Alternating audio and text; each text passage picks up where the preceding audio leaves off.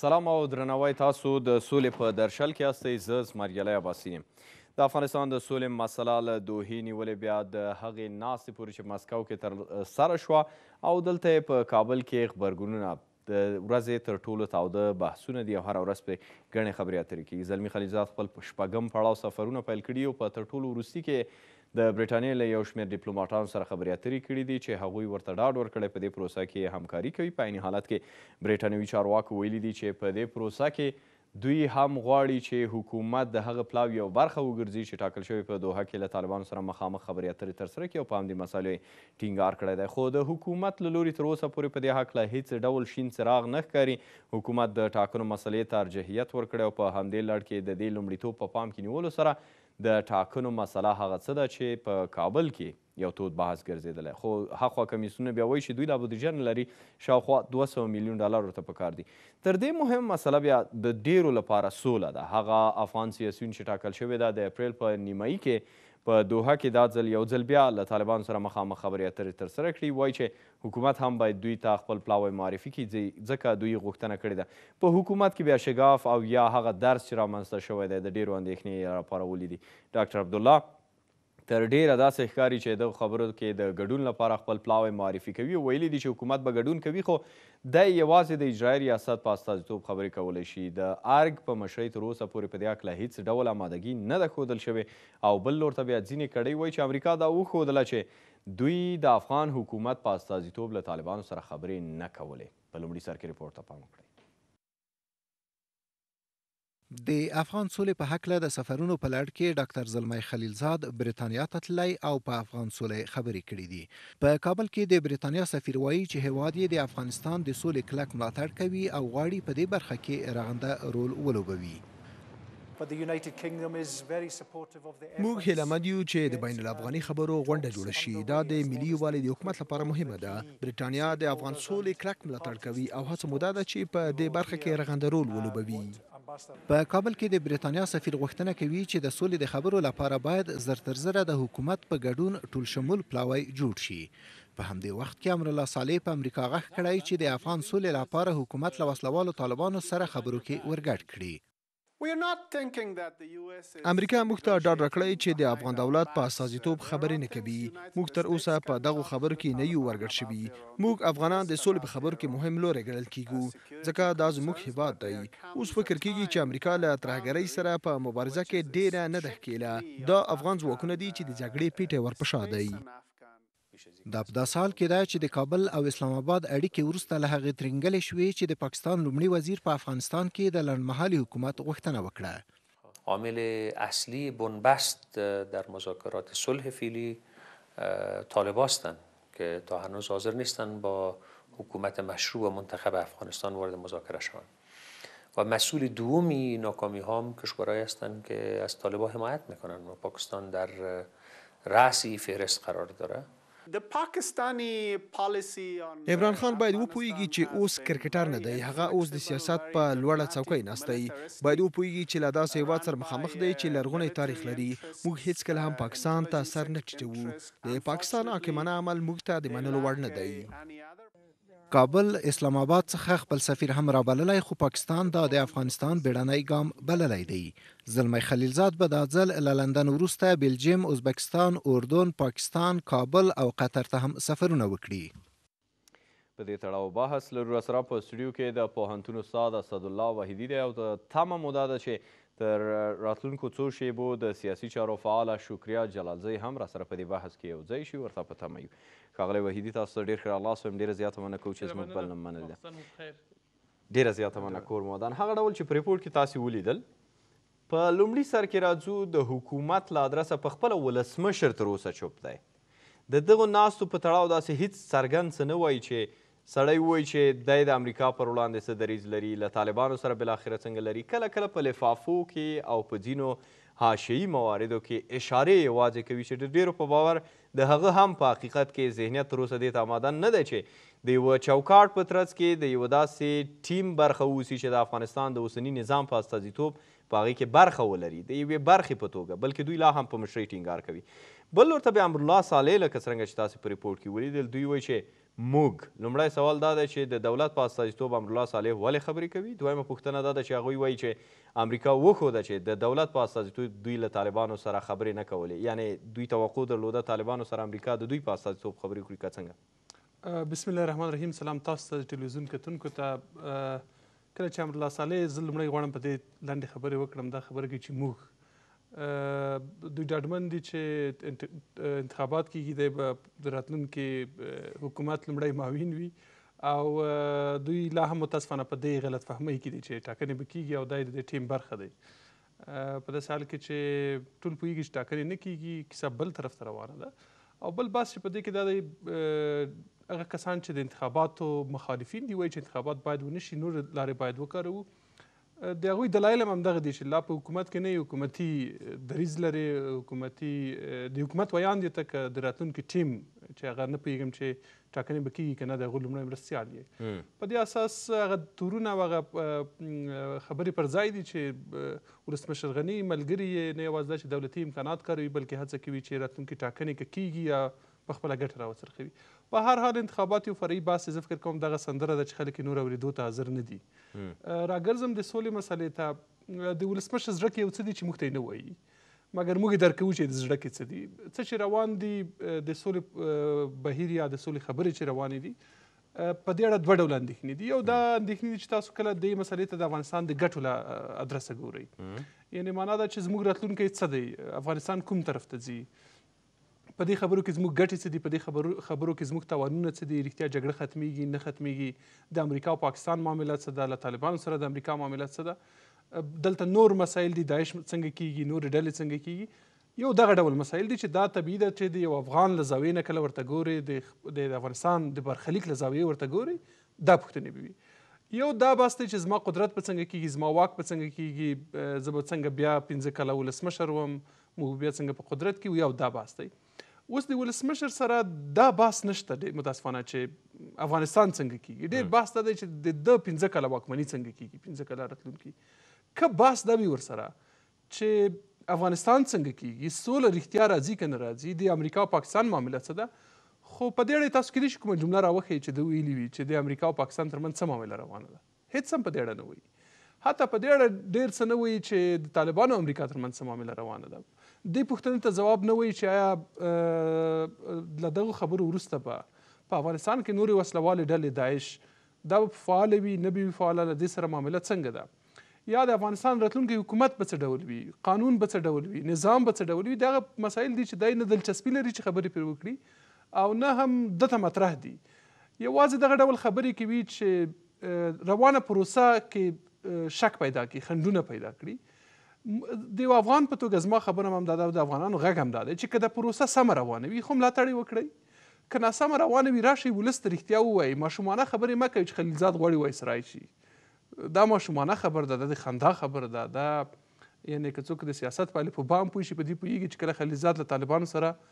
مخامخ د یو امریکا د استازي په توګه کینی هغه بیا دا امکان نه لري چې هغه د راشي د افغانستان ولسمشر دي شي یا مشر دي شي نو که که رښتیا څه روان وي ناسمې خبرې وي دا خبرې افغانستان بد طرف ته وړي خو راشي خلکو ته رښتیا ووایي ووایي چې څه روان دي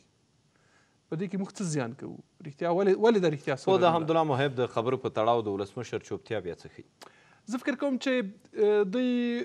فکر کولو چې خلیلزاد پوره امریکایي نه دی یو څه افغان دی راځه په ده ولګېږي امریکایان ته خو یې څه نه شوی ویلی هغه دوی تمه نه کوله چې دغه ډول عکس غبرګون سره مخ کېږي. څه چې حمدالله محب وویل دا د ده شخصي نظر نه و، د د ولسمشر نظر و. اوس نه هغه رسمي تاییدولی شي، نه ترې په شا کېدلی شي. په دې خاطر په یو ډول دوه لارې کې دی او پوهېږي، ویني چې یوه څه کم څه باندې یو میاشت وروسته د ده ځای نشته دی ختمیږي، د ده واک ختمیږي، د ده قدرت ختمیږي او په دې خاطر کوشش کوي چې په ځینو خبرو سره عامه ذهنیت ګډوډ کړي، خنډونه پیدا کړي. په دې او دې تر ټولو بل ستر زیان چې کړی له بده مرغه هغه دا دی چې د سولې په تړاو اصلي اندېښنې چې دي زما سره اندېښنې شته، ستا سره به هم اندېښنې وي، د هر افغان سره شته چې رښتیا یو کال وروسته، دوه کاله وروسته موږ چېرته ځو؟ د دې د ده ناسم دریځ د دې سبب شوی چې هغه اصلي اندېښنې هم تر خاورو لاندې شي، هغه اندېښنې څوک مطرح نه کړي، هغو شکونو او پوښتنو ته څوک ځواب ونه وایي چې څه به کېږي، موږ کوم طرف ته روان یو، راتلونکی نظام به څه ډول وي، قانون به څه ډول وي، ایا ما او ته به د دغه ډول خبرو حق ولرو چې اوس لګیا یو، ما او ته ته به د دغه ډول نیکټایي تړلو حق ولرې که به یې ونه لرې، دا خو واړه مسایل دي، لوی مسایل، د افغانستان راتلونکی څنګه دی، ایا د افغانستان یو ځل بیا پاکستان ته سپارل کیږي څه معامله ده اساسي اندېښنې دا دي چې له بده مرغه نه ولسمشر نه د دوی حکومت کوم بل چارواکی ورته پام کوي برعکس د دوی ناسم دریځ د دوی عوام فریبانه دریځ د دې سبب شوی چې لوی او اساسي مسایل یا لوی او اساسي اندېښنې زموږ ستاسو نه هیرې شي هغه مطرح نه کړو په هغو بحث ونه کړو او هغه ته په قطر کې مطرح نشي هغه د سولې په تړاو په نورو غونډو کې هغه اندېښنې مطرح نشي تړلو مسایلو ته او په ځانګړي توګه د زلمي خلیلزاد سفر ته شکریا جلالزی د سیاسي چارو فعال را سره یو ځای شو ډېره مننه چې نا وخت راغلی تاسو ته او لیدونکو ته ډیر معذرت غواړم ازدحام زیات و خدای مو راوله په دې هیله چې په خیر رسیدلي اوسئ. پوښتنه اوس دا ده چې یو ډول فضا ګونګه ده او یو ډول لکه هغه ډول چې وحیدي صاحب او ډېر نور نور ته هم اندېښمن دي او هم اشاره کوي ځینې کړۍ او ځینې حلقات حتی په ځینو مواردو کې شک په حکومت هم ده چې غواړي فضا نوره هم خړه پړه کړي د سولې خبرې په یو ډول تخریب کړي او ځینې حتی د سبوتاژ لپاره هم په هیڅ شي باک نه لري ستاسو په نظر اوس په همدې لړ کې که موږ راشو د قضیه هغو هارډ یا هغو سخت او اصلي اړخونو ته نو د زلمي خلیلزاد د سفرونو لړۍ ده. په دوحې کې له طالبانو سره په دوو ډولونو ناستې دي چې یو د امریکایي استازو او یو هم د افغانستان د نظام د ځینو سیاسیونو سره هلته ناستې دي چې امادګي ورته نیول کېږي. په لومړي سر کې د زلمي خلیلزاد د سفرونو په هکله راته ووایئ، ولې مهم دي ستاسو په نظر اغلې جلالزی؟ ډیره زیاته مننه څو موارد دي یو دا چې تاسو وویل چې یو زلمی خلیلزاد د طالبانو سرکینی او یو د نظام سیاسون کینی د نظام سیاسون نه بلکې د نظام نه وتلی سیاسون په مسکو کې او همدارنګه په نورو غونډو کې د طالبانو سره په میز باندې ناست دی البته د نظام ځکه وتلی چې دا هغه سیاسون دی چې اوس په نظام کې حضور نه لري په حکومت کې نه لري بله په حکومت کې نه لري او یو تعداد یې حتی د انتخاباتي مبارزاتو په خاطر باندې ډیر لوی رسک اخلي چې دا د دوی شخصي رسک نه ده دا د ملت رسک ده په هیڅ صورت ان شاء الله چې افغان ملت به دې ته اجازه ورنکړي چې داسې معامله وکړي چې په هغې کې د افغانستان د خلکو د عزت او د آبرو د دغه نظام د بقا موضوع تر سوال لاندې راشي دا چې سوال دا ده چې ولې مهم ده مهم دا ده چې یو خو د امریکا قاطعیت ښايي چې د سولې لپاره دوی په هر صورت یې غواړي چې دغه مذاکرات باید مخکې لاړ شي چې دا یو ښه خبر ده او زه فکر کوم چې د انساني لحاظه او د حقوق بشري لحاظه که امریکایان صادقانه عمل وکړي البته زه هیله لرم چې ویې کړي او د افغانستان د سولې په پروسه کې مرسته وکړي دا به په نړۍ کې ډیر یو لوی لاسته راوړنه وي د دوی لپاره به ډیر یو لوی بشري لاسته راوړنه وي ولې متاسفانه کومې خبرې چې روانې دي په دې کې تشویشونه شته دي تر ټولو لوی تشویش دا دی چې د افغانستان حکومت چې د افغانستان د خلکو غږ د هغه حضور نه لري په دې خبرو کې ځکه خبرې بین الافغاني مذاکرات چې ورته وایي د هغې دواړه اطراف باید تعریف وي او د افغانستان حکومت په رسمي شکل باندې په مشروع شکل باندې کولی شي د افغانانو غږ پورته کړي او په عین زمان کې بیا راځو په دې باندې هم تم کیږو د زلمی خلیلزاد سفرونه څومره مهم دي هغه څنګه روان دی ستاسو په نظر ښاغلی خلیلزاد دا د شپږم پړاو سفرونه پیل کړي تازه مواردو کې د بریټانوي چارواکو ډیپلوماټانو سره خبرې کړي چې هغوی هم خپل ملاتړ ښودلی په دې برخه کې تر ټولو عمده برخه یې همدا ده چې اوس هغه د اصطلاح چې د حکومت په مالکیت او مشرۍ د سولې خبرې اترې وي نشته بلکې د افغانانو ترمنځ یعنې انټرا افغان ډیالوګ چې دوی ورته وایي، په هغې باندې ډېر د ددوی ټینګار ده. په دې هکله تاسې تشویشونه هم یادونه وکړه، نو دا وروستي سفرونه څومره ستاسې د تشویشونو یوه برخه ده؟ دوه اړخه لري، یو اړخ یې دا دی چې په نړیوال ستیژ باندې کله چې امریکایانو په افغانستان کې په دوه زره یو کال کې راغلل، نوی حکومت یې جوړ کړ او دلته یې د طالبانو حکومت وپرځاوه، دوی همدا ډول سفرونه درلودل، همدا ډول نړیواله اجماع یې رامنځته کړله ترڅو یې وشوی کړی چې ناټو په شمول او نور قدرتونه او هیوادونه همغږي کړي او د طالبانو په مقابل کې ودریږي او د طالبانو حکومت وپرځوي. زه فکر کوم چې د سولې لپاره همدا رقم هلې ځلې پکار دي ترڅو یوه نړیواله اجماع رامنځته شي او د ده سفرونه ډیر مهم دي مخصوصا د انګلستان سره ځکه چې انګلستان د امریکا یو ستراتیژیک ملګری ده او مخصوصا په افغانستان غوندې یو سیمه کې په پاکستان چې دوی کوم تاثیرات لري د دوی حضور ډیر زیات مهم دی چې همغږي رامنځته شي اما اصلي خبره دا ده چې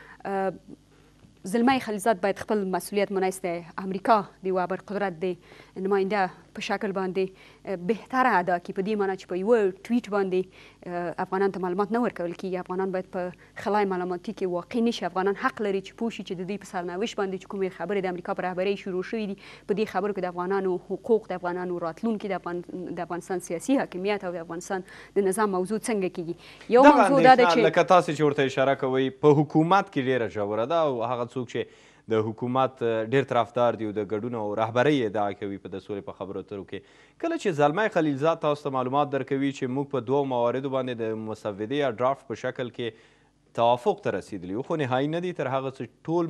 موارد نهایي نه شي په دې مورد کې هغه د دوو مسئلو ته اشاره وکړه او ویې ویل چې یو د امریکا یو د طالبانو اړخ و چې د بهرنیو ځواکونو د وتلو مهال وېش او له طالبانو تضمین مسئله وه. دغه اندېښنې چې رامنځته کېږي له کومه ځای دي؟ یعنې ښاغلي وحیدي یوې مسئلې ته اشاره درلوده او دغه بحث له هماغه مهاله شروع دی چې دا شکونه هم ورسره دي. که چېرې څه له حکومت سره شته نو حکومت دې په زغرد ووایي چې دلته دغه ډول معامله روانه تر څو خلک هم پوه شي او که خلیلزاد څه پټ لري نو نه لري نو بیا حکومت دا اندېښنه ولې کوي؟ زه فکر کوم چې اندېښنه د دې ځای نه شروع کېږي وخت چې امریکایان د طالبانو نه تضمون غواړي دا څه معنا لري د سیاسي لحاظ او د حقوقي لحاظ طالبان یو مشروع حکومت نه دي چې تضمین ورکړي هغه یوه ډله ده څنګه امکان لري چې امریکایان د یوې ډلې نه دا تضمین وغواړي زه فکر کوم هغه وخت چې یو ګډ حکومت جوړیږي یو ګډ مشروع د افغانستان نماینده حکومت کولای شي چې یو چاته تضمین ورشي اصلا دا مشروعیت ورکول دي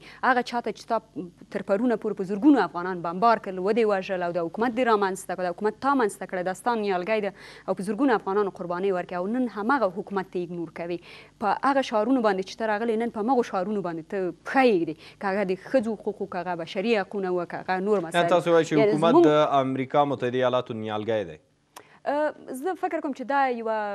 ګډ د نړیوال ټولنې البته یوازې د امریکا نه د نړیوالې ټولنې د افغانانو په کوششونو یو رامنځته شوی یو رامنځته شوی حکومت دی نو بیا خو د طالبان دریځ صحیح دی چې سره خبرې نه کوي نه خیر زما خبره یې لکم چې تحریف نشي زما منظور دا و چې د نړیوالو په مرسته باندې دا حکومت د افغانانو په همکارۍ د افغانانو په هیلو د افغانانو په هڅو باندې رامنځته شوی ده بنان په هیڅ صورت باید نړیوال دغه حکومت چې دی ملاتړ کړی چې دوی د هغو په ملاتړ باندې بمبار کړی، چې دوی د هغې په ملاتړ باندې حتی ودونه بمبار کړي دي، په هیڅ صورت دغه حکومت باید ایګنور نه شي. بله مسله دا ده، د افغانستان حکومت نننی حکومت، البته دا زما شخصي نظر ده، نننی حکومت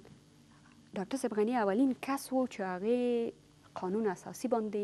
خط کش کړو. هغې طالبانو ته دا زمینه مساعده کړه چې مونږ قانون اساسي خو د اسمانه نه دی راغلی، قانون اساسي خو دې افغانانو جوړ کړی دی، په هغې کې بر علاوه د دې نه نور هم ډېر نواقص شته دي، مونږ کولای شو چې طالبانو سره په قانون اساسي باندې معامله وکړو، هدف دا ده چې افغان جګړه باید پای ته ورسېږي، د افغانانو سر باید خوندي شي، نورې باید وینې تویې نه شي، تر ټولو بوږنونکی حالت دا ده چې په سلګونو ځوانان هره ورځ مري. خو، دا په دواړو لیکو کې مري. خو اوس، اوس، اوس هغه ډول چې تاسو ورته اشاره کوئ، دوه نظره ستاسو په خبرو کې راغلل، په دې هکله لطفاً لنډ ځواب راکړئ اغلې جلالزۍ.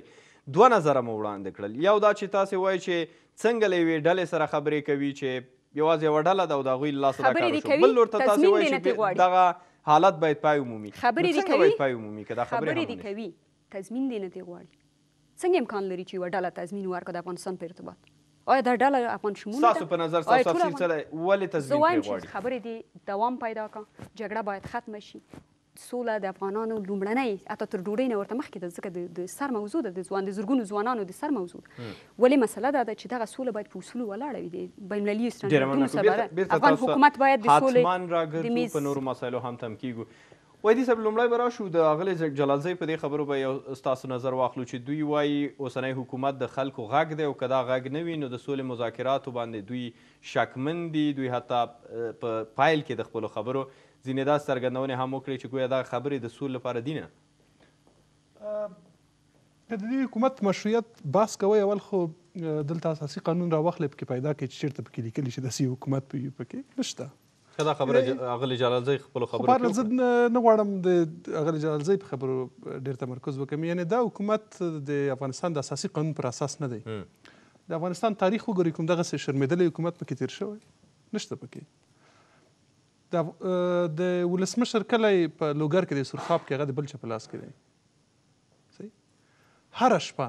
هره شپه له انقطاع پرته په هره سیمه کې تاسو ورشئ پوښتنه وکړئ خلک وژل کیږي په سروبي کې ووژل په ننګرهار کې ووژل وردګو کې ووژل د ولسمشر په کلي کې ووژل په یعنی افغانستان تاسو هره شپه دا نن شپه چې موږ تاسو خبرې کوو په کلي کې خلک په ویره وحشت کې ژوند کوي له چا د چا له ډاره د دې حکومت له ډاره د شپې ورځي خلکو په کورونو چاپی ورا چې بم په ورغورځوي په دې کور کې یو طالب وو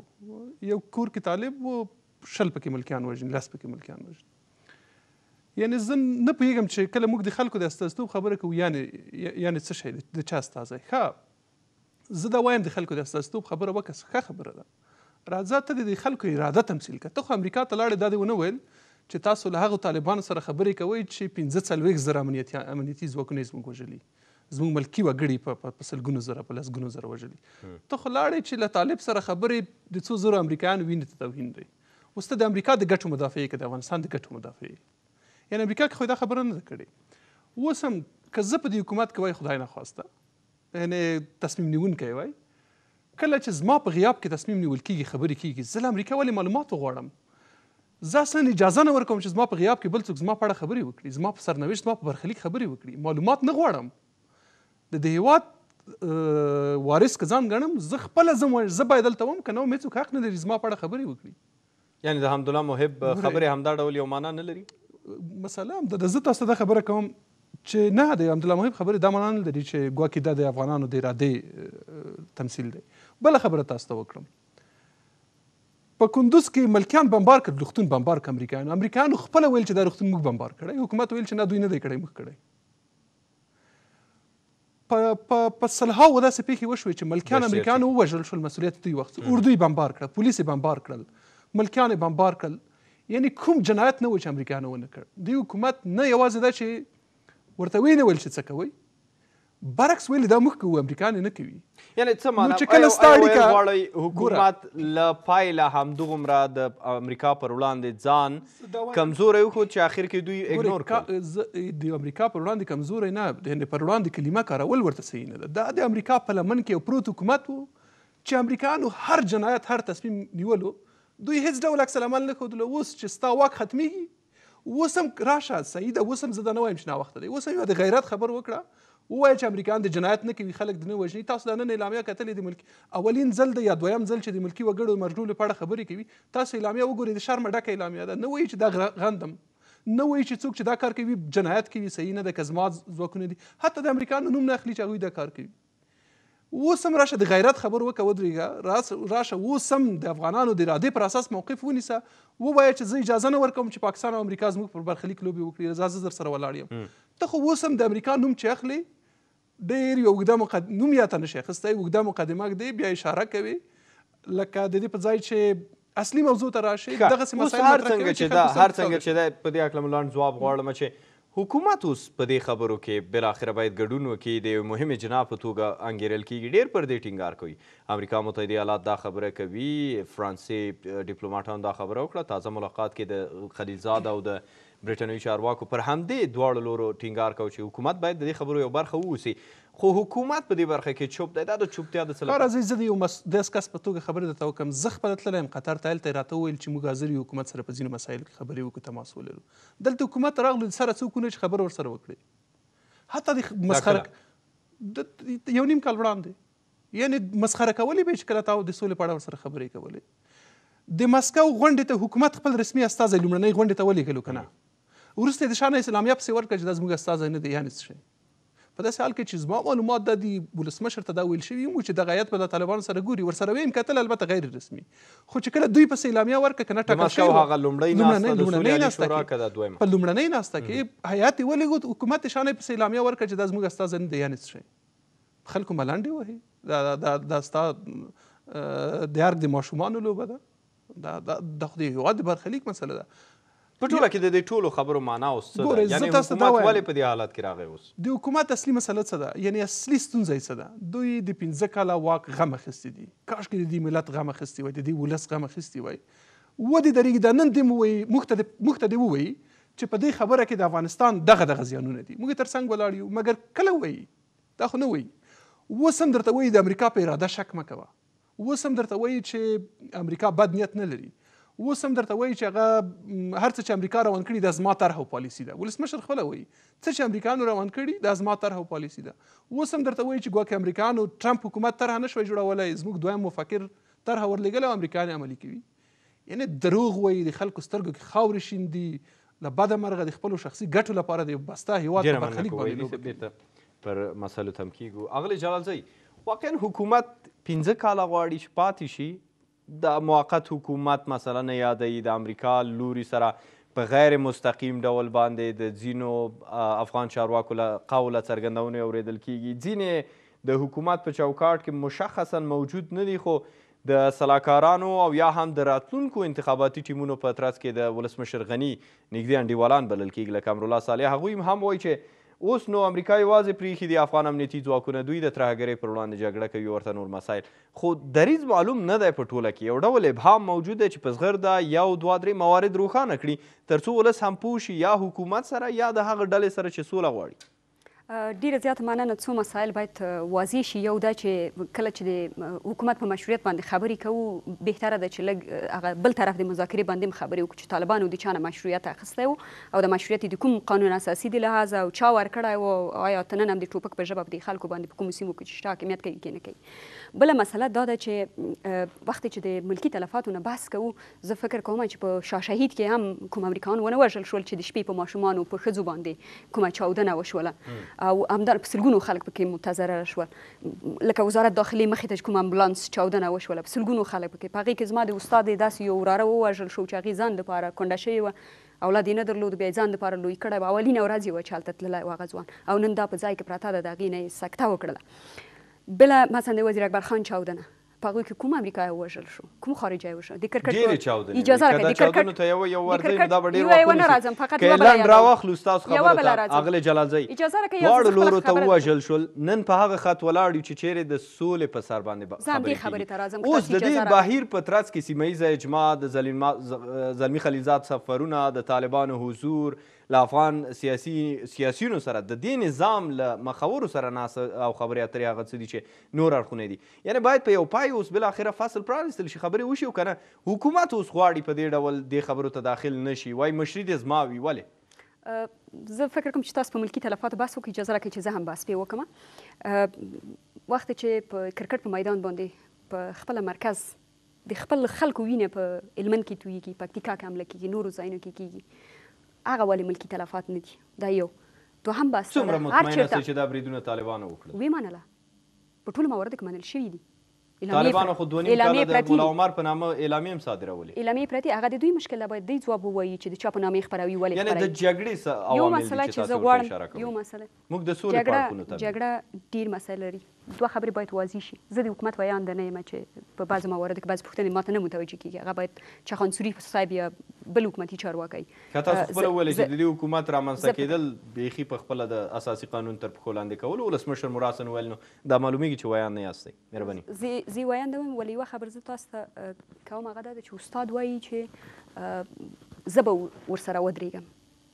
یا زه قطر ته تللی یم ته چې تللی وې او ته بیرته راغلی له افغان حکومت سره د خبرې کې تا تعریف درلود ته څوک وې آیا حکومت باید دومره یو غټ حکومت په دومره تشکیل باندې یو فرد ځي زه والا قطر ته تللی یم ته راشه یا ولسمشر راسره وګوره یا رئیس دی جای راسره یا بل راسره وګوره ولې تا سره وګوري د کوټې شورا معلومه ده پیښور شورا معلومه ده د دواړو تګلاره معلومه ده بیا نو څه ضرور ده چې یو دوه ځوانان پکې کار ته پورته شي بله مسله اجازه راکړئ وایي موږ به حکومت سره ودریږو اجازه راکړئ زه یوه خبره درته اجازه راکړه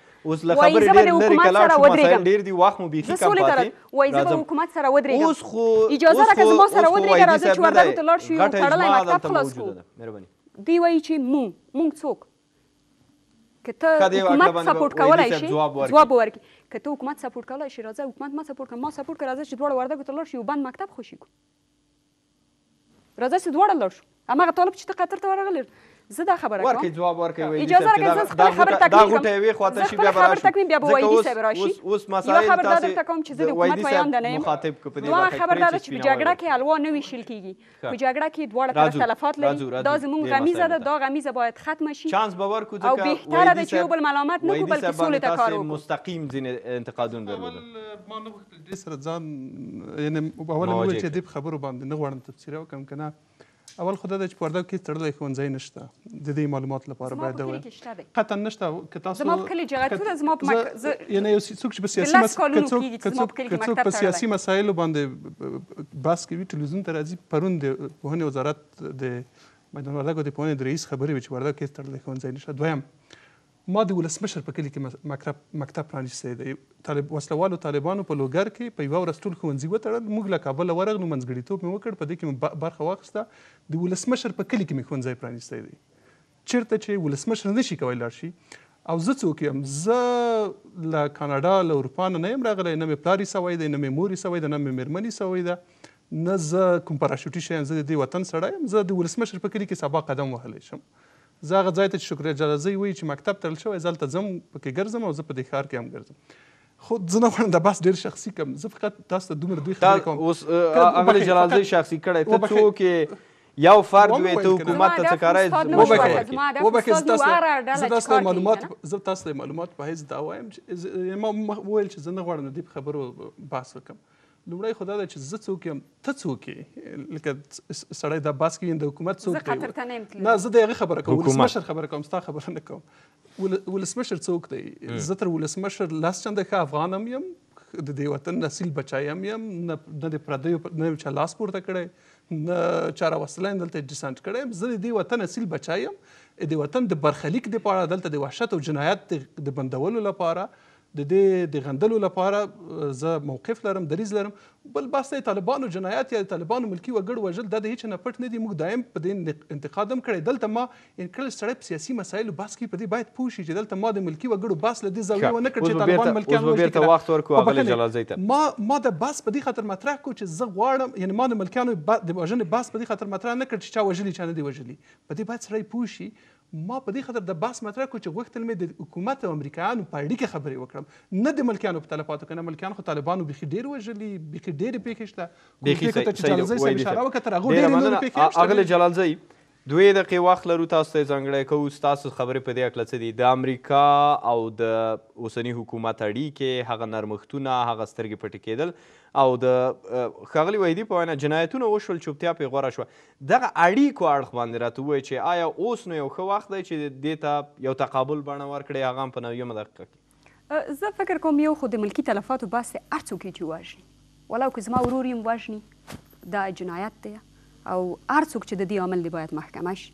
او عین عمل یې چې کړی باید ورسره وشي، څه چې شرعي قانون وایي همغه باید پرې تطبیق شي، دا هر څوک چې وایي. نو دا خو بیا سوله نه شوه. بله مسله. اجازه راکړئ بله مسله دا ده زه د همدې نه زه غواړم چې عبور وکړو که موږ دې ته راځو چې موږ ملکي تلفات لرو موږ خلک بمبار کوو موږ او یک طرفه قضاوت کوو یک طرفه وایي چې یک طرفه دغه ملکیان وژل کیږي زه فکر کوم راځي دوه طرفه وایي چې په جګړه کې خلک وژل کیږي او دا جګړه پردۍ ده دا جګړه تپل شوې ده دا جګړه د نړیوالو د ګټو لپاره ده دا زموږ جګړه نه ده موږ په کې د سون توکي غوندې استفاده کېږو. موږ چې کله سولې ته کار کوو، زه فکر کوم چې زرونه چې په یوه طرف ګزار وکړو. هدف دا دی چې وخت چې موږ وایو چې د ولسمشر په کلي کې، هغه خو د ولسمشر کلی دی، ځکه ورتللی شو. راځئ د هغو چا چې په جګړه کې په وینو باندې لاس سره دي، د هغې کلي ته هم ورتللی شو، که نه شو ورتللی؟ ښه کلي ته به هغه وخت ورشئ چې اوس طالبانو سره مسله یې بله مسله دا ده چې زه فکر کوم انساني لحاظ ضرور لري چې ځان ته معیارونه وټاکو چې زه اصیل یم یا څوک غیر اصیل دی پوښتنه ده راځو په آخري مورد باندې تم کیږو کله په دوحه کله په مسکو کله د امریکا استازو کله د طالبانو استازو اوس تر ټولو مهم باب دا دی د افغانانو لپاره چې د یو بین الافغاني مذاکراتو باب پرانیستل شوی دی دوحه کې دا د دوهمه ناسته ده چې په تشکیل باندې موارد دي دا کسان چې هلته ګډون کوي وايي چې موږ حکومت نه غوښتنه کړې چې ژر یو هیات را معرفي کړي ځکه ټاکل شوې د اپریل نیمایي کې دا ناسته وشي. ډاکټر عبدالله تقریبا دا منلې ده ورسره د ډېرو په باور چې دوی به خپل پلاوی لېږي د اجرایه ریاست د حکومت د نیمایي بدنې په حیث باندې خو حکومت چوپ دی په دغسې مواردو کې چې اوس که ټول موارد راټول کړو دغه اوسني خط ته یې را مواجه کړو دا چې هر څه یې تر شا و هر څه چې دي دا خبرې خو بالاخره رسنیزې هم دي، ټول به هم پرې خبرېږي، نړیوالو ملاتړ ښودلی په دې برخه کې، حکومت که نه ورځي اشتباه کوي که نه، دا یو صحیح موقف دی، باید ګډون ونه کړي ستاسو په نظر؟ لنډ ځواب. سل په سلو کې باید ګډون وکړي، زموږ غوښتنه هم همدا ده، موږ چې کله په امریکا باندې انتقاد هم کوو هدف دا دی چې افغانان باید سره و نه وېشل شي، د توطیې د تیوري نه باید استفاده ونه کړي، دلته باید د مور او میرې چلند ونه شي، افغان حکومت باید افغان حکومت باید داخل شي خبرو ته، خبرې باید نتیجه ورکړي، او سوله زموږ اولویت ده. کورمدان د سیاسي چارو فعاله شکریا جلالزۍ او د پوهنتون استاد اسدالله وحیدي راسره په دې بحث کې تاسې خبرې واورېدې. دمه اخلو تر هغې وروسته بیا راګرځو او په یو بل اړخ تم کېږو.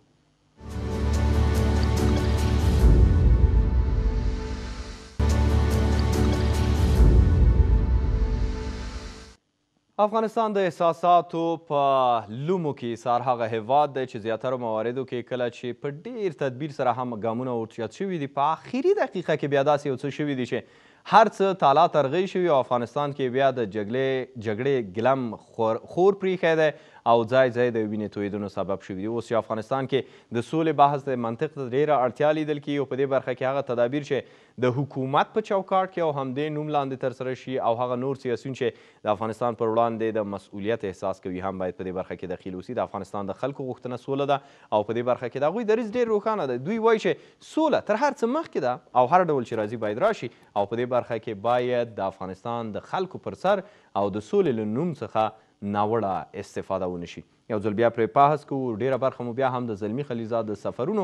او د دوحې ناستې په هکله احتمالي بحث دی. راسره په سټوډیو کې همدا شېبه د نړیوالو چارو شنونکی بصیر یوسفی دی. آقای یوسفی خیلی خوش آمدین، تشکر میکنیم دعوت مرا پذیرفتین و با ما در این بحث سهم گرفتین. طوری که آقای خلیلزاد سفرهای خود را آغاز کرده یک بار دیگر در مرحله ششم سفرهای خود قرار داره اخیرا با دیپلماتانی از بریتانیا دیدار کردند که هر دو طرف بر این تاکید داشتند که حکومت باید بخشی از مذاکرات بین الافغانی باشه حکومت هم ما تاکید داره که ما میخوایم رهبری و مالکیت این پروسه به دست ما باشه آیا وقت این مسائل از حکومت میتونه با این تاکید و پافشاری های مکرر به این نتیجه برسه که واقعا به شکل دراماتیک یک بار دیگر حاکمیت و رهبریت و مالکیت پروسه صلح به دست حکومت افغانستان بیایه و یا ای خیال است و محال؟ شکر بسم الله الرحمن الرحیم سلام ادب خدمت شما و بینندگان عزیز تلویزیون آریان نیوز همانطور که در بحث مباحثات در طی چندین ماه در رابطه با بحث قضیه صلح افغانستان و بحث اعتراضات و نقدهای متفاوت وجود داره مجموعه سفرهای آقای خلیلزاد در میشه که شامل دو مرحله ساخت یکی بحث شامل مرحله ای که در حقیقت بر میور تمام ایار منافع امریکا بچرخه و بعدا بعد از تامین نمودن منافع در حقیقت امریکا ایالات متحده امریکا بعدا متوجه دولت افغانستان شود. در طی بحث های پنج دوره قبل بیشتر موارد مورد بحث قرار می گرفته که در اونجا بیشتر منافع در حقیقت امریکا مطرح بودن نه منافع افغانستان اما سفری که فعلا در حقیقت عنوان میشه که دولت افغانستان باید در قضیه فعال شود گرچه که در طی مدت 17 سال دولت افغانستان ادعا داره که ما فعال بودیم خب با همون مدیریت که با یک عالم کمی و کاستی ها در حقیقت وارد صحنه شده که امروز به اثر جبر زمان و یا فشاری که در حقیقت بر ایالات متحده امریکا از نوع طالبا در حقیقت قرار گرفته ما میبینیم که امریکا به طرف صلح در حقیقت قدم گذاشته و افغانستان هم از این دریچه استفاده میکنه در حقیقت این بحث صلح که امروز افغانستان به طرف از او گام بگذاره صلح تمام ایار افغانی نیست اما بر ها ضرورت است چرا ما مدیریت ناقصه که در گذشته داشتیم از جانب دولت افغانستان در حقیقت ایر که جامعه جهانی را به این قناعت برسانه و بالا از اونها این فشار وارد بکنه که مردم افغانستان به صلح ضرورت دارند و در حقیقت نیروهایی که در قضایای افغانستان دخیل هستند اونا وارد میز مذاکره شوند همزمان با در حقیقت کنار آمدن امریکا میبینیم که روس در اینجا فعال شده که در حقیقت امریکا را وارد میز مذاکره ساخته و در هر قضیه که امریکا فعال است میبینیم در پهلوی از او نظارت کننده از جانب روس ها در اونجا حضور داره و بعد از ختم او ملاقات به شکل فوری قضایار میان بررسی میکنن نقد میکنن دلایل خود مطرح میکنن چرا ما فعال شدن ها را در سنه صلح افغانستان میبینیم که امریکایی ها را در حقیقت در میز مذاکره در حقیقت با طالبا کشانده من فکر میکنم که طالبا در حقیقت نقطه قوت نسبت به دولت افغانستان پیشتر پیدا کردن تا بتانن در حقیقت امریکا را وادار به بکنن که به طرف میز از کجا این حرفا نشأت میگیره آقای خب یوسفی اگر ما به گذشته خود طالبا بنگریم بعد از فروپاشی خود طالبا در حقیقت طالبا در افغانستان به سرنگونی از اونا چیزی نمانده بود اما در حقیقت اونا رو زنده نگه برای مدت زمان میتونیم بگیم اضافه تر از یک دهه و در لیست سیاه امریکا هم وارد نبود بعد از مدت زمانی که در حقیقت طالبا تانستن که در منطقه جای پای پیدا بکنن و در حقیقت حمایت کننده های بین المللی پیدا بکنن قدرت های بزرگ پیدا بکنن امریکا اونا رو به لیست سیاه داخل کرد به تعقیب از او فشارها و ملاقات مختلف با طالبا که صورت گرفت چون نتیجه نداد در حقیقت بعد بحث صلح مطرح شد که بیایم ما با طالبا صلح بکنیم حال بحث صلح مطرح است اگر صلح بکنه کی صلح میکنه به صلح کی ضرورت داره افغانا صلح به صلح ضرورت داره امریکا به صلح ضرورت نداره ای افغان که به صلح ضرورت دارن و این صلح باید در حقیقت بین دولت افغانستان و طالبان صورت بگیره اما چرا پیش زمینی از در حقیقت با امریکایی ها به تفاهم میرسه سبب ایست که همان شکل که خود آقای خلیلزاد مطرح کرد که ما در دو میور در حقیقت آمدیم تا بالا بحث کردیم یک بحث ای که اگر طالبا در حریکه قدرت افغانستان بیان با دولت افغانستان و یا کسای دیگه برابر حکومت دوباره در حقیقت تشکیل بدن او حکومت در مخالفت با منافع امریکا نخواهد بود یک دومی که کسایی که هایی که در مخالفت با پالیسی امریکا در منطقه می جنگن با اونا در حقیقت قطع رابطه بکنه طالبان یعنی کلا موارد که تا به حال طالبا آقای خلیلزاد با طالبا صحبت کرده در همین میور بوده که من فکر کنم دولت افغانستان در قضیه نه تنها طالبا بلکه خود امریکا هم در حقیقت در میوره در میز مذاکره صلح اجازه نداره چرا این چنین شد خب اگر در اینجا بحث دولت افغانستان را پیدا میکرد او ادعایی که طالبا داشتن و در بابت او ادعای خود با دولت امریکا در حقیقت می میکردند ادعای دولت افغانستان متفاوت از ادعای دولت ادعای طالبان می بود در اینجا این قضیه کمک هم بحرانی تر می شد و به درازا می کشید فکر می کنم همین تفاهم نسبی که بین طالبا و آقای خلیلزاد یا دولت امریکا صورت گرفته که کاملا واضح نیست اما از گفتار همون شکل معلوم میشه که به شکل نسبی تفاهم صورت یعنی فکر میکنین ایالات متحده امریکا و خود شخص آقای خلیلزاد من حیث مامور ارشد در مورد صلح افغانستان و یا هم به عبارت دیگر توافق با طالبا به اشاره های طالبان می نوازن. خب برای امریکا این مهم است که در افغانستان در قدم اول حکومت باشه که با تمام استراتژی امریکا در منطقه موافق باشه اگر ای حاصل نشد در مرحله دوم حکومت باشه که در مخالفت با منافع امریکا در منطقه سر بالا نکنه ما یک عالم ممالک داریم امروز که در عرصه جهانی در حقیقت عین پالیسی رو تعقیب میکنه امریکا چنین حکومت رو در افغانستان انتظار داره اگر گزینه اول شد خب اگر نشد لاقل گزینه دوم خو در حقیقت در افغانستان به صدد زو بیرون شوه من فکر میکنم که طالبا با امریکا به نتایج رسیدن اما با تمام معنا رو باز نمیسازن امروز سفرهای کدام نتایج نتایجی که در حقیقت امریکا انتظار داره که در افغانستان حکومت به وجود بیایه که با مخالفت با استراتژی امریکا در منطقه مواجه نباشه نگرانی که امریکا امروز از بابت طالبا داره که این در حقیقت طالبا به دامان روس افتیده و روس رو به هیچ وجه همین استراتژی خود نمیدن افغانستان اگر ما پیمان گذشته بین امریکا و روس رو ببینیم که شمال هندوکش و جنوب هندوکش در حقیقت تقسیم است یعنی حتی تقسیم نیروهای ناتو رو اگر ببینیم در شمال هندوکش کیها حضور دارن آلمان ها حضور دارن اسپانیا حضور دارن ایتالیا حضور دارن چرا انگلیس حضور ندارن چرا امریکا یا حضور ندارن اما در جنوب هندوکش که ما میبینین بیشتر قوایی که وجود داره قوای انگلیس و امریکاست در حقیقت یعنی او معاهده سر جای خود هست بر میور همون ماهده در حقیقت امریکا و روس تعامل میکنن در قضیه خود افغانستان و امروز هم که بحث قضیه صلح افغانستان در حقیقت زنیایش مطرح است و روی میز گذاشته شده در قدمی اول اونا منافع خود میخواین تامین شوند حالا این بحث بین ما افغان هاست که آیا انتخابات صورت بگیره یا نگیره ما من از دیدگاه منافع خود افغانستان میبینیم اما بر, بر امریکا هم فکر میکنم آنقدر مهم نیست که انتخابات صورت بگیره یا نگیره اما کسی که در عریکه قدرت افغانستان تکیه میکنه او در مخالفت با امریکا و غرب در حقیقت نباشه میور مهم اصلی مذاکرات در طی همین پنج دور گذشته بر میور همین میگشته که فکر میکنم در حقیقت تا حدود به نتایج هم رسیدن اما با تمام معنا آشکارا ای را اعلان نکردن امروز که دولت افغانستان وارد میز مذاکره میخواین بکنن در حقیقت بستر میخواین بسازن که دولت افغانستان با طالبا وارد میز مذاکره شوه و در حقیقت همون صلح که در او چیزی هم منافع افغانستان باشه و در حقیقت منافع امریکا و غرب هم در او محفوظ باشه به طرف از او آیا, آیا موافق هستین آقای یوسفی اگر به شکل دیگر سوال مطرح بکنم که 17 سال گذشته فقط بگران میوزیک ایالات متحده امریکا بود حالا 6 ماه گذشته و 6 ماه آینده اساسترین بازی است که ایالات متحده امریکا میخواد بازی بکنه خاطر اینکه ملت سازی دموکراسی حاکمیت قانون مبارزه علیه فساد اسام بن لادن و غیره و غیره این همه بگران میوزیک بود موافق هستید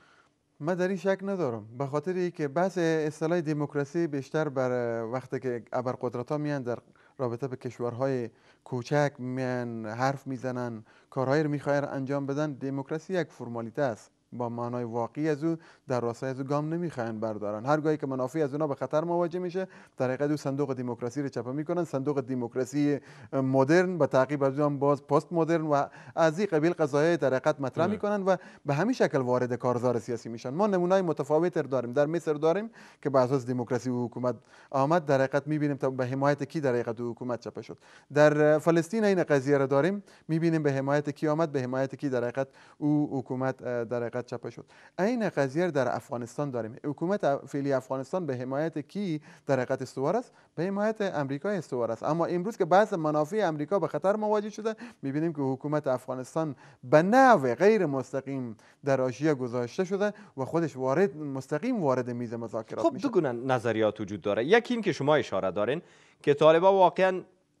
قوت گرفت و من حیث یک هژمونی و یک قدرت منطقه‌ای تبدیل شد که به بزرگترین حریف ایالات متحده آمریکا یعنی روسیه ارتباط برقرار کرد و بالاخره احتمال میرفت که دوباره به یک دردسر خیلی بزرگ به ایالات متحده آمریکا مبدل شد از این رو ایالات متحده آمریکا دفعتا وارد صحنه شد و بازی ها را تغییر داد و یک نامی را به وجود آورد که صلح با طالبان یا جورآمد به اصطلاح افغانی با طالبان روی میز نشستند که ابتکار حکومت در آنجا محو شد و تقریبا به حاشیه رفت دوباره پهلوی دیگه سکه این است و تحلیل این است که این همه بازی بود زمانی که ما برمیگردیم به 2014 به شکل ناگهانی آمادگی برای از که مسئولیت های امنیتی به قوای امنیتی افغانستان واگذار میشه طالبا به شکل به سابقه پیشرفت میکنه به پینجا پینجا قدرت نظامی میرسه با حکومت افغانستان و ایالات متحده امریکا و نشان در قرارگاههایشان امتر میشینن زمانی است که به بار بسیاری ها این پهلوی دوم سکه نوشته شدگی بود و بر روی نقشه عملی شد که ایالات متحده آمریکا میخواست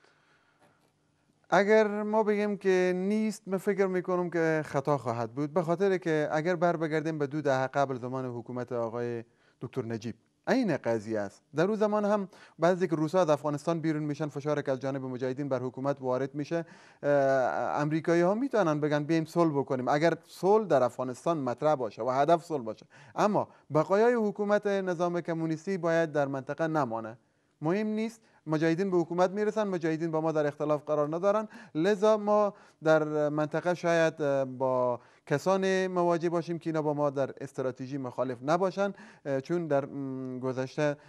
به نحو حمایت هم صورت گرفته غیر مستقیم به این لحاظ حکومت دکتر نجیب با تمام مانا از بین بردن اما به تعقیب از او میبینیم که عین قضیه تجربه در ویتنام هم دارن یا چرا عین قضیه در افغانستان انجام میدن سبب چی است در امریکا در ویتنام هم وقتی که ها میان مستقیم وارد مذاکره با مخالفین میشن حکومت سقوط میکنه و در اونجا به نتیجه به نفع نظام کمونیستی تمام میشه که در اینجا امریکایی ها نفع نمیبرن اما در قضیه افغانستان هم این قضیه وجود داره حکومت که از 17 سال به این طرف به حمایت امریکا در افغانستان استوار است با پای استاد شده و یک عالم دستاوردهای هم وجود داره نمیتونه بگیم دستاورد واقعا این ای که ما امروز اینجا آزادانه صحبت میکنیم یک دستاورد بزرگ است بر افغان ها ما سه سه پیش یاد میدم سه ده پیش جسارت چنین چیز وجود نداشت که ما بیایم آزادانه صحبت بکنیم خب قبلا یادآور شدیم بخشی از بگراند میوزیک یا مسائلی که اصلا واقعا اصل موضوع نبوده اصل هدف نبوده و بالاخره سناریو به طور میره که بعد ازیش خیلی مجهول تاریک و با شک و تردید خیلی زیاد همراه است در این مورد اگر ما بخشی از آزادی بیان که شما میگین دستاورد است حقوق زن حقوق بشر و غیره که همش زیر سوال هم هست همزمان این همه بالاخره در یک لبه پرتگاه ایستاد هستند و بعد از این چی میشه همه نگران این مسئله است مشکلی که وجود داره امروز که جهان غرب برم در نگران ساخته که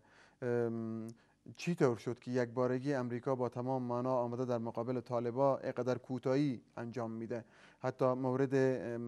یک سال اعتراضات در امریکا و در اروپا هم قرار گرفت خب از یک طرف بحث انتخابات خود امریکا نزدیک است و به نحو در حقیقت شعارهایی که آقای ترامپ داد که ما جنگر میخوایم خاتمه بدم در افغانستان میخوایم به طرف از او پیش بره اما به چه قیمت ای تمام شود؟ واقعا آیا تمام دستاوردهایی که امریکا در طی مدت زمان 17 سال در افغانستان داشته همگیر میخواه به یک کنار بگذاره صرف به خاطر ای که آقای ترامپ در انتخابات آینده دستاورد برای ملت امریکا پیشکش بکنه که دیگه امریکایی در داخل افغانستان کشته نمیشه دیگه دلار امریکایی در داخل افغانستان به جنگ مصرف نمیشه دیگه ما تمام فعالیت هایی که در حقیقت میخوایم متوجه زربناسازی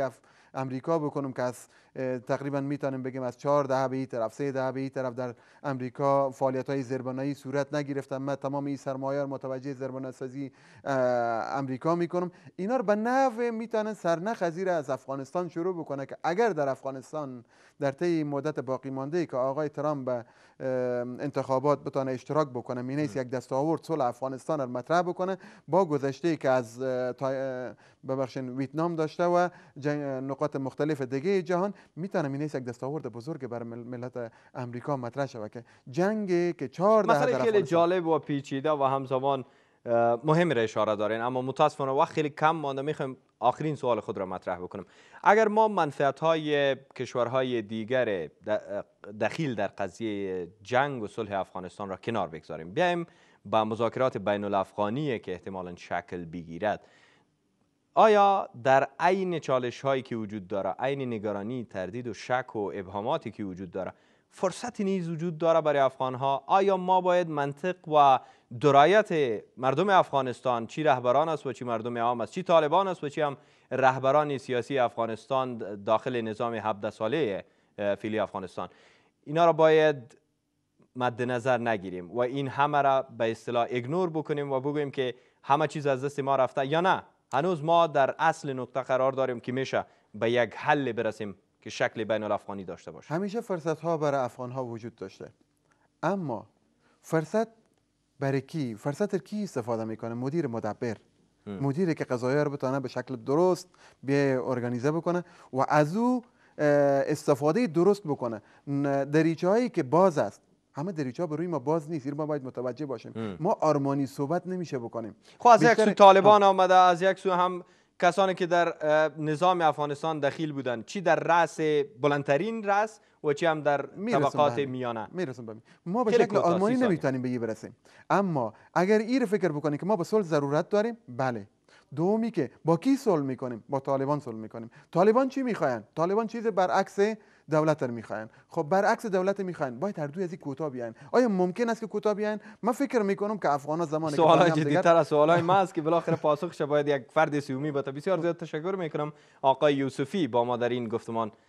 سهم داشته تشکر از شما سپاسگزار هستیم په همدې ځای کې دا خبرونه رانغاړو